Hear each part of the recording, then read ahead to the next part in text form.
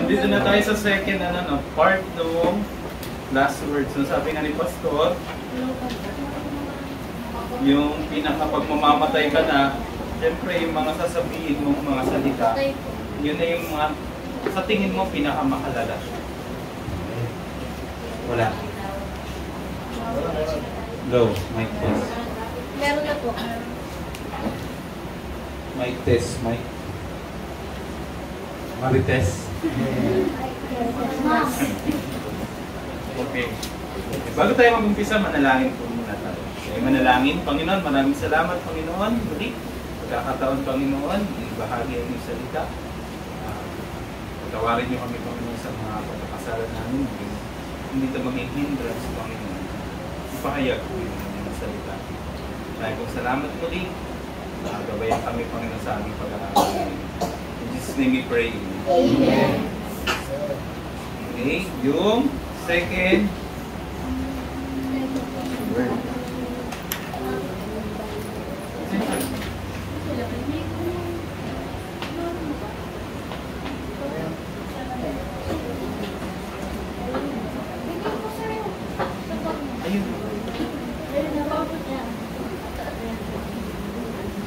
Yung salamin ni Clark Kent.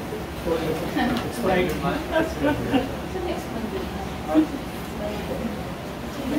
mga salamin ni Clark Kent. Basta pa po na sa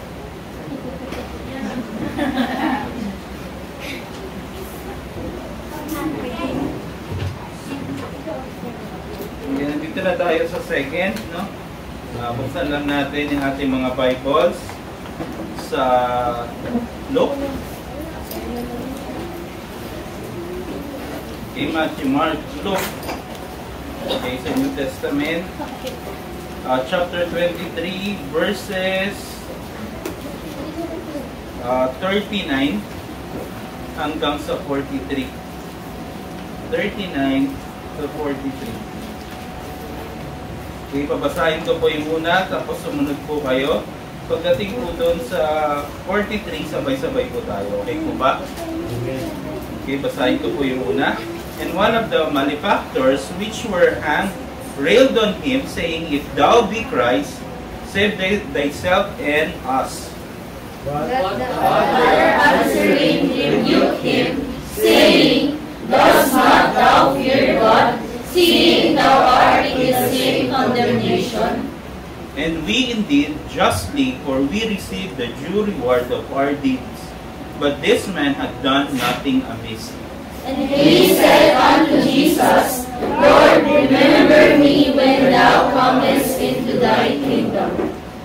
Okay, sabay-sabay po tayo. And And Jesus said unto him, Verily I say unto thee, Today shalt thou be with me in paradise. Okay, mag-aaral din po tayo. No? Ako, mahilig po kasi ako sa character study na pag madalas yung maano, mahilig akong aralin yung mga character dun sa particular na ah, verses or ah, kwento. Di ba? Maganda po yan. Pagka nagbabasa kayo, tinitignan nyo, sino ba yung mga character dito? Tapos, ano ba yung mga ginawa ng character na to? Okay? Tignan natin ano, sa verse 39, sabi ko dyan, okay, one of the malefactors. Actually, bago pa yan, meron daw dalawang malefactors, no? Ano ba yung malefactors? Okay. Sabi dyan, yung mga malefactors daw are ah, transgressor ng law. Okay? Okay. Sa ibang, sa mga mababaw na salin, ang sabi nila dito, mga magnanakaw. Pero parang mababaw yung magnanakaw. Kasi dapat sa Bible, pag nagnakaw ka lang, bayaran mo lang yung yung ano mo eh, ninakaw mo eh. Either be four times, diba? kung, kung gaano kalaki yun. Pero sa tingin ko dito, ito talaga yung mga ah, kriminal. Yung ibang mas malalim na salita. Either be pumatay sila ng tao or heinous yung ginawa nila. Makikita natin yan mamaya kung bakit nasabi natin gano'n. Okay? Okay, dalawang malefactors, di ba? Yung ang Panginoon ay nasa gitna, meron sa kanyang kanan at meron sa kanyang kaliwa. Okay? Bakit hindi lang siya? Bakit, bakit meron sa kanan niya at sa kaliwa? Na, naano niyo ba yun? Natanong niyo ba sa sarili yun? Bakit sila tatlo?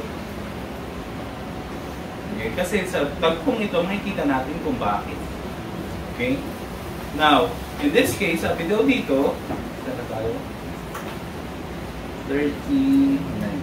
Sabi dyan, yung isa, the one of the malefactors, which were hanged, railed on him, saying, If thou be Christ, save thyself and us. Okay, unang-una tayo sa una tayong character, yung isang malefactor. Okay, dalawa kasi sila, nandun pa lang tayo sa una, sa isa. Okay? Sabi dyan, nag-rail daw siya. Ano yung railing? Ano yun? Ano yung sabihin? Hindi. Iba yung rally. Okay? Railing accusations. Hindi mga totoong akusasyon. Okay? Nagsasabi ka ng isang bagay na hindi totoo sa isang tao. Okay? Yun yung rail. Okay?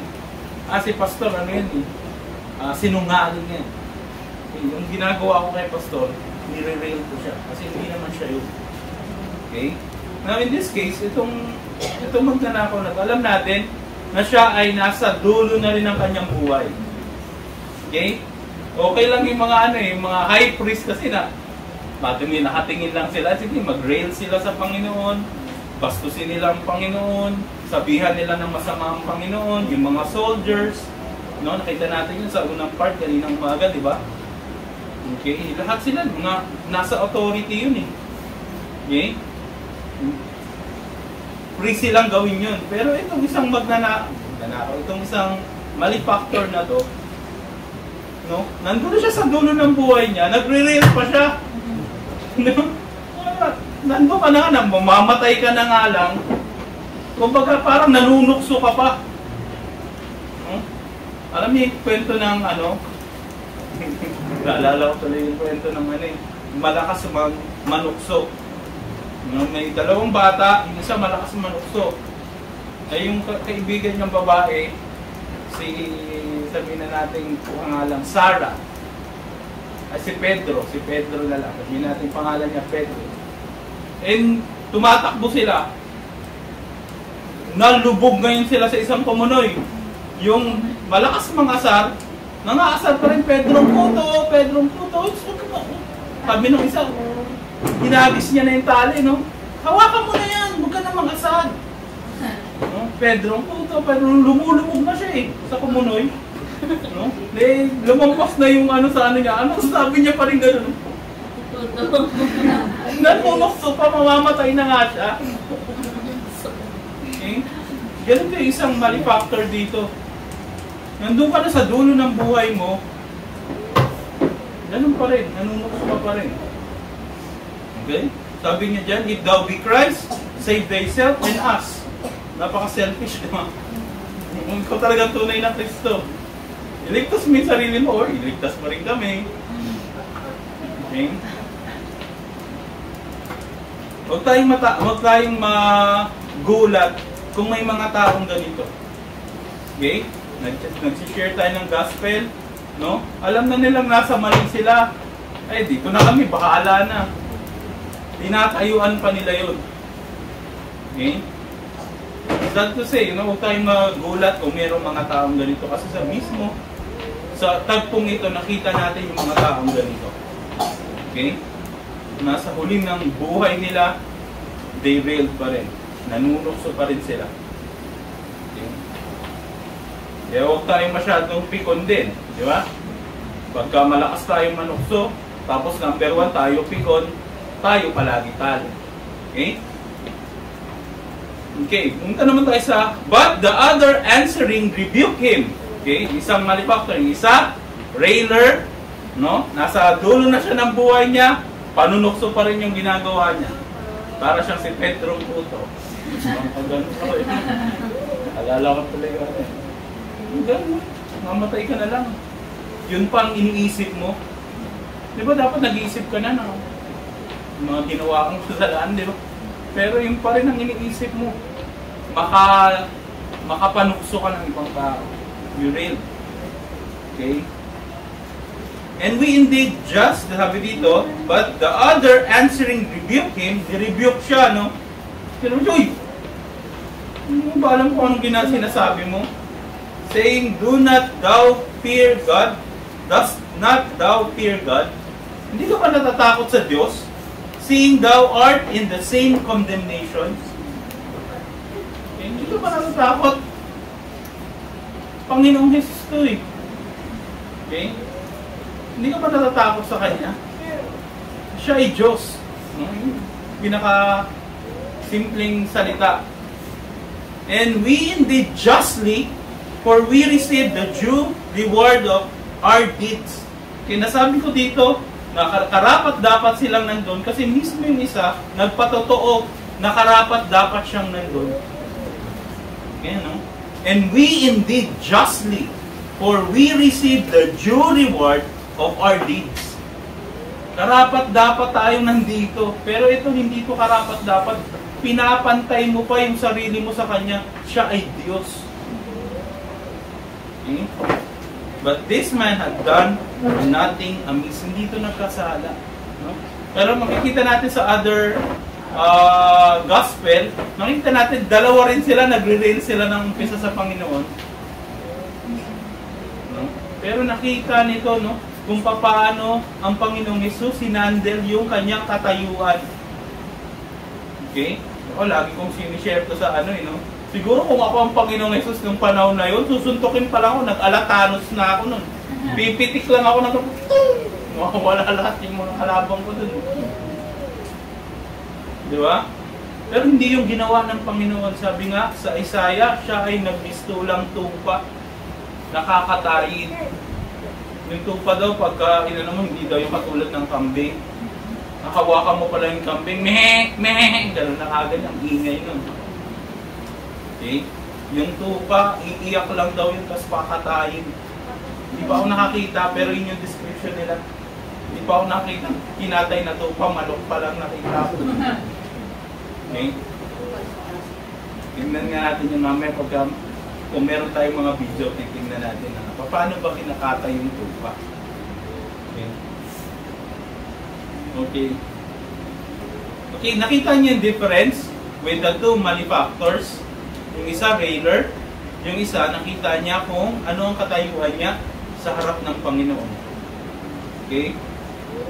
Sabi dyan, eh, ito pa maganda. And he said unto Jesus, Lord, remember me when thou comest into thy kingdom. Okay, meron tayong memory verse, di ba?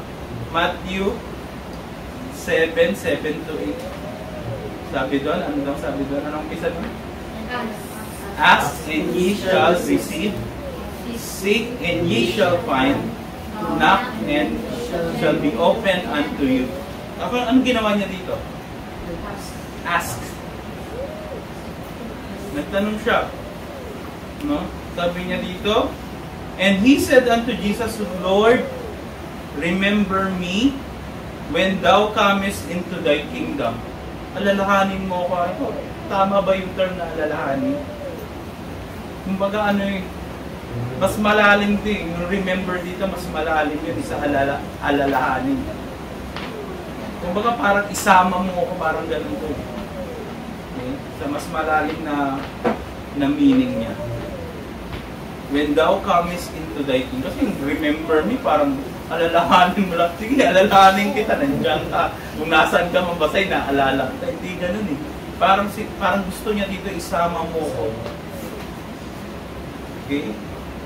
Anong reply? No? Nandun tayo sa third character. No? Yung unang character, railer, no? Nanunukso pa, imbis na isipin niya na yung buhay niya, saan, saan ako pupunta?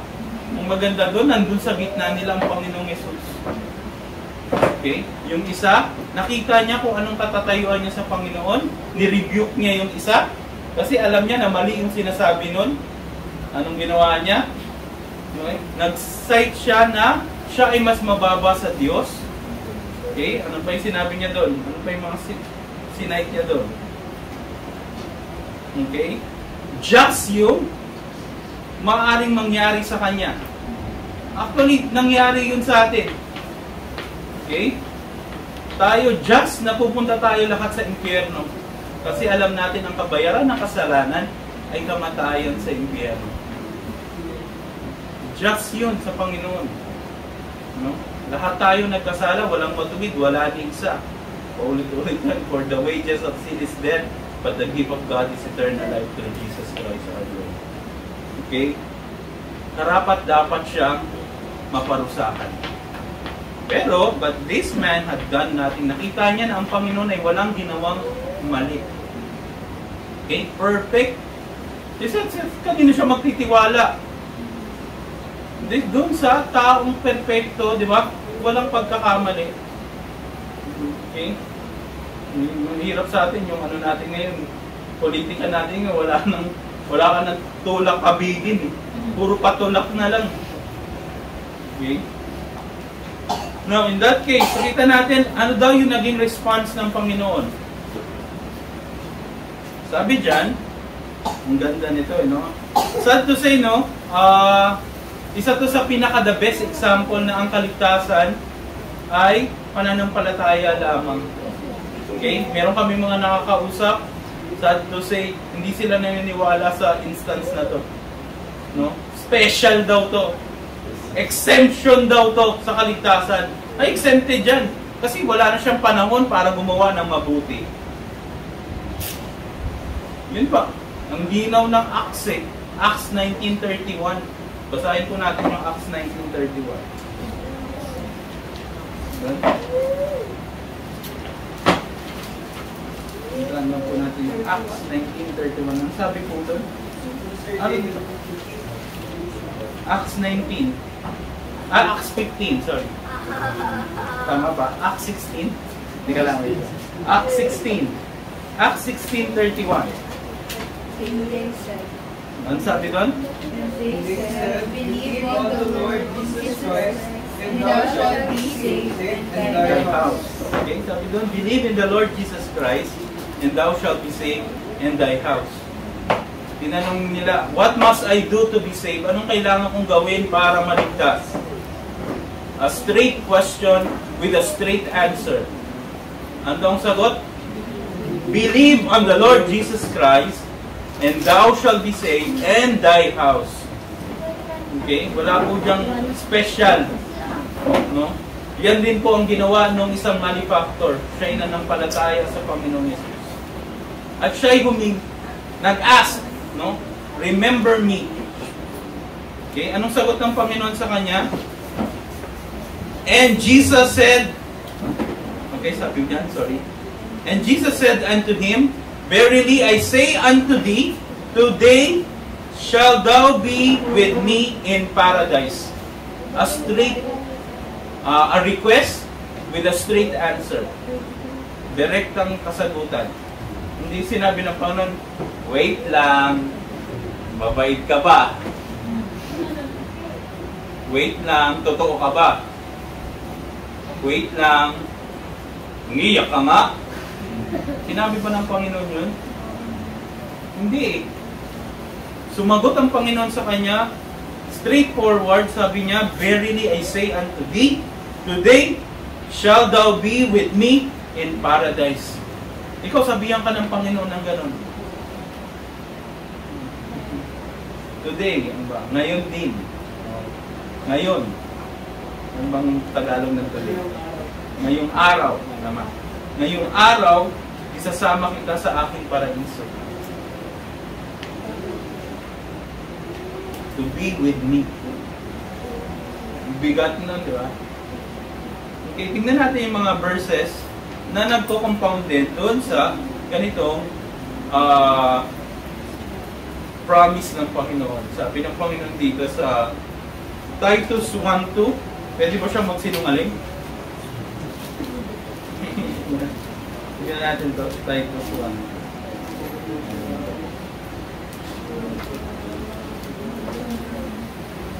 Sabi dito sa Titus, Tito 1, 2, sabi dyan, in hope of eternal life, which God that cannot lie promised before the world began. Okay, ang Panginoon, gusto niya lahat maligtas. Rinamis niya yon sa atin, no? Umpisa pa lang, nung nagkasala pa lang si Adam and Eve sa Genesis, gumawa na siya ng paraan para tayo maligtas. At yun nga ay ang pagdating ng kanyang tagapagligtas, which is the Messiah, yun ang Panginoong Yesus. At ginawa niya yon sa tagpong ito. Nung siya'y namatay dun sa krus ng Kalbaryo, siya'y nilibing, napunta siya sa impyerno 3 days and 3 nights, pero siya'y nabuhay muli sa mga patay. Okay? Yan po ang ginawa ng Panginoong Yesus. Kaya may karapatan siyang sabihin, no, walang alinlangan, na ngayong araw, isasama kita sa aking paraiso. Sabi po dito sa 2 Timothy 1.12, okay, dito ko na po tatapusin. 2 Timothy 1.12 sabi.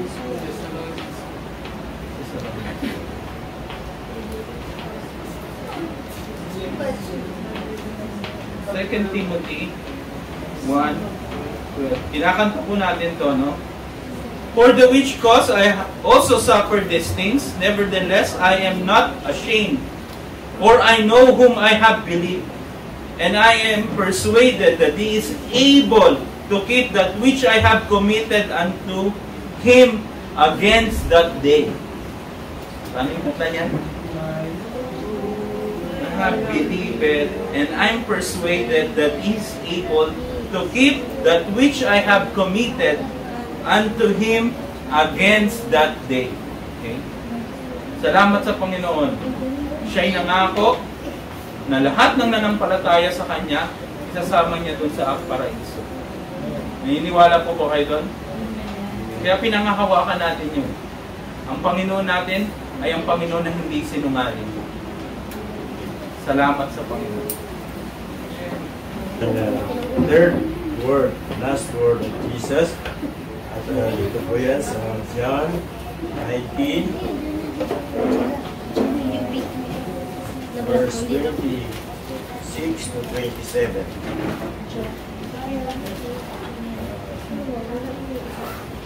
Ito po ay uh, uh, ang manalangin mo po tayo. Uh, Panginoon, salamat po sa pagkataon at binigyan niyo po ang uh, katalinuhan at wisdom po at at paliwanag po ang iyong uh, la- uh, third last word. At uh, sana po yung pagbuhay niyo po po at uh, bigyan ang uh, kalakasan po at ang paliwanag ng iyong salita. Manalangin po namin sa pangalan ni Jesus. Amen. Ito po, ah, basahin ko po ah, sa John 19, 26 to 27. When Jesus therefore was uh, saw his mother and the disciples standing by whom he loved, he said unto him, Mother, woman, behold thy son. Then said to the disciples, Behold thy mother, and from that hour that disciple took her unto his own house. Lamang po ang uh, pagkaliwanag po. Ah, ngayon po, ito po ay nagsasabi na Now therefore stood by, by the cross of Jesus, his mother and his mother's sister, Mary, the wife of Cleopas, and Mary Magdalene. When Jesus uh, therefore saw his mother and the disciple, mara, pupunan niyo po, bakit uh, ilan po bang disciples meron si Jesus? Yeah, 12. Okay, tama po kayo. Pero, kung mapansin niyo dito, nakalagay, disciple. Isa lang po. Bakit po kaya nangyari ganun? Nasaan yung iba? Yeah, alam mo yun? Saan nakalagay mo lang? Bakit? Nakalagay dito singular lang eh. Ibig sabihin, isang disciple lang nandun. Ay dapat 12 sila. Paano nangyari yun? Nawala ba yung iba? o hinuli rin? Ha? Ah, ah, walang nilagay po dito, no? Pero sa palagay ko, ah, nagtago nga po sila kasi takot na takot din sila. Pero yung master nila, hinuli. Sila pa kaya? At ang huli na yun, hindi ba basta huli, ikukulong. Hindi, papatayin eh. Marurusahan. Siyempre, kahit sino naman matatakot. Kaya nakita nila dito isang disciple lang. At sinabi pa, whom he loved. Talagang mahal na mahal nila. At hindi pinangalanan. Doon po pinakita na itong disciple na ito, sobrang pagmamahal sa kanya. Hindi mo hanggang kamatayan. Alam niya na pag nahuli siya, pwedeng patayin siya. Pero sumugod pa rin siya. Dahil mahal talaga niya si Jesus. Pero dito po sa sa verse ah, 18 po, may babasa ay 19, ah, 18 pala. May babasa po tayo dito na siya po ay may kasamang isa pang disciple. Hindi rin po pinangalanan. Pero ang sinabi, kilala daw po ito ng high priest. Sino po kaya ito? Sino po kaya itong isang disciple? Ray. Ano mo? Hindi. Ray, kilala mo ba yun? Isang disciple na yun? Kasi dalawa na itong disciples na pumasok dito sa yung uh, courthouse na to. Yung isa nga, whom he loved. Pero yung isa, kilala na ng high priest. Sino kaya to? Hmm? Saka, palagay mo lang. Ilalagay mo tayo dito. Tama mo mali. Dahil ako, hindi ko rin na siguradong ito. Pero, ibigay ko rin sa iyo yung, yung ano ko. Palagay ko. Ano rin? Sino kaya?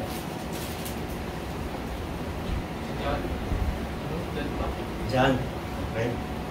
Walang sinabi dito eh. Pero, pero kilala na ng high priest eh. Sino ba, sino ba yung high priest? Di ba siya, sino ba nagpahuli kay Jesus? Si high priest, mga ano ito. Mga kalaman ni Jesus to. Itong mga naiingit sa kanya to. Kaya pinahuli siya. Eh sino tong isang disciple daw na pumasok doon? Kasabay ni Peter. Ay, hindi, hindi kasi kasabay. Pero dalawa sila. Dalawa sila pumasok doon. Pero nauna itong isang disciple na kilala nga daw ng high priest. Tapos, si Peter na iwan lang doon sa labas ng pintuan. Ha? Tapos, ah, naiwan si Peter doon sa, sa labas ng pintuan at ah, ang ginawa nitong ah, isang disciple na to, kinausap yung gwardiya na babae. At nung makausap na yung gwardiya, pinapasok na si Peter. Kaya dalawa na sila bali doon. Ngayon, yun nga ang tinatanong ko kung may sino may alam. Sabi mo si John, no? Si, John. Ah, yung ano ko dito ay si Judas, Judas. Kasi kilala siya ng high priest eh. Parang katiwala siya, labas-pasok siya rin sa courtroom. Sa anong yun, yung palace, no? Hindi naman basta nakapasok ka kung hindi ka kilala ng high priest. Kaya ang ano ko dito, si Judas. Nakalagay niyo, Pastor? Si John ba? Ah, nakalagay ba yun? Kilala ng high priest. Ah, siya hindi umalis. Mali pala ko. kasi, ang akala ko dito, kasi hindi pinangalanan eh. Nakakilala na ng high priest.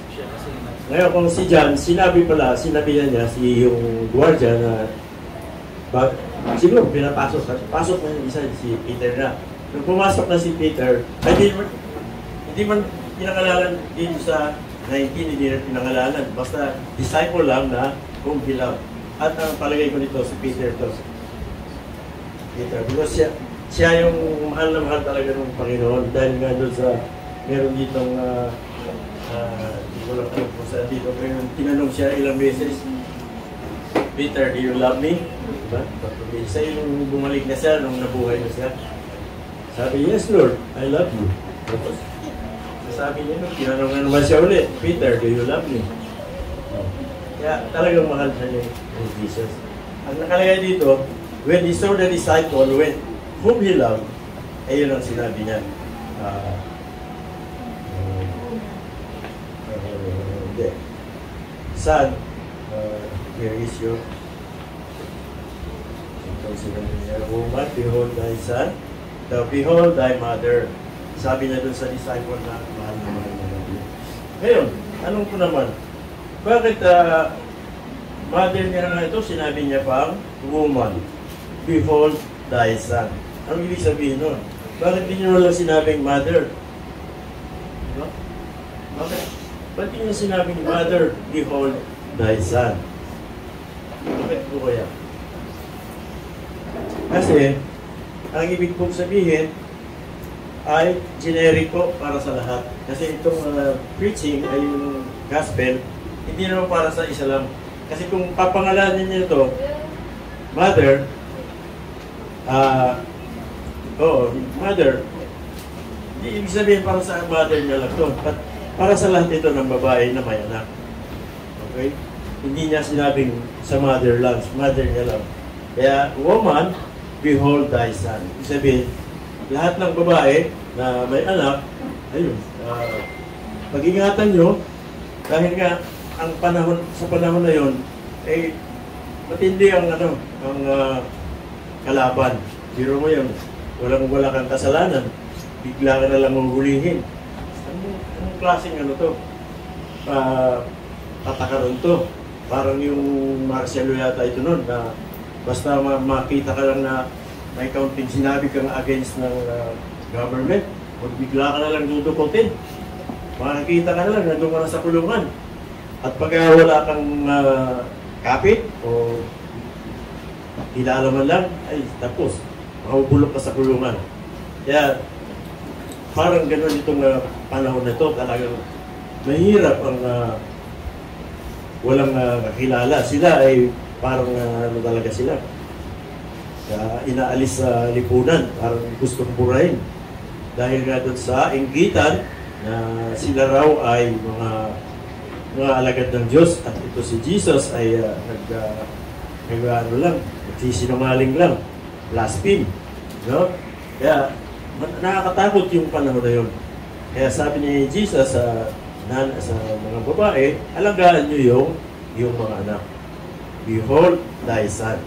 At kung makita niya naman yung disciple niya, ito naman ang sinabi, Behold thy mother.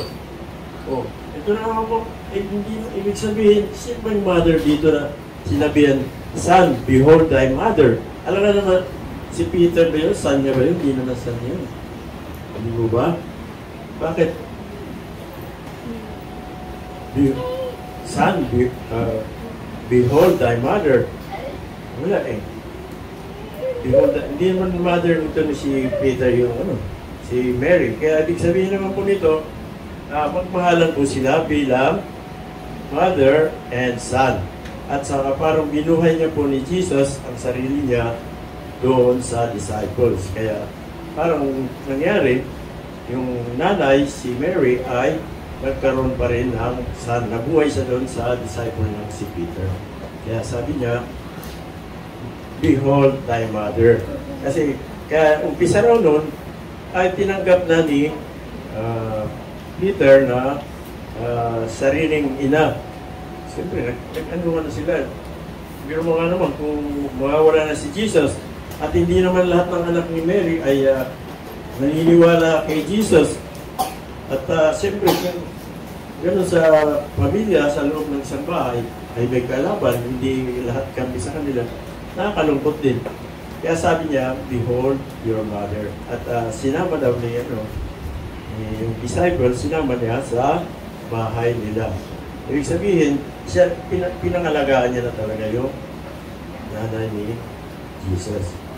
At kaya yun, uh, talagang uh, ano talaga ito, yung talagang uh, nagpaalam mo talaga si Jesus na parang pinagbili niya yung uh, mga naiwan niyang alagad at uh, pati si mother niya. Uh, at sa siyempre, uh, maganda yung uh, ginawa niya para sila-sila magkasama at magka, magkamahalan sila at uh, walang mapa hiwara, ibig sabihin mapahama. Dahil iisa silang uh, magkaka, uh, sis, magka, ay, magka, pareha sila ng uh, prinsipyo o uh, paniniwala tungkol kay Jesus. Yan lamang po ang masasabi ko dito sa third last word Christ. Amen.